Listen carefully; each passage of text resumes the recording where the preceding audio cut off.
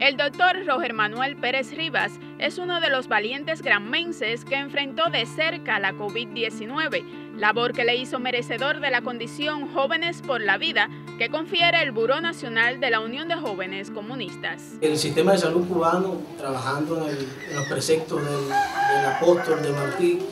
con, esa frase de que eh, ver después no vale nada sino ver antes y prepararnos, pues en su medicina preventiva cogió y creó estos centros de aislamiento donde se encontraban los pacientes sospechosos o contactos de, casos positivos para la COVID-19. Y allí, bueno, en mi caso me desempeñé como especialista en primer grado de medicina interna, detectando la agudización de las enfermedades crónicas que presentaban ellos o exacerbaciones de los procesos respiratorios que tenían. Rodeado de sus vecinos en el reparto El Valle, el especialista en primer grado en medicina interna narró algunas vivencias del centro de aislamiento Villa Cautillo en la ciudad de Bayamo lugar donde en, el tiempo en el, que transité eh, salieron seis casos, se detectaron seis casos positivos. Importante señalar algo que nos motivó a todos era ver cómo los pacientes a las nueve de la noche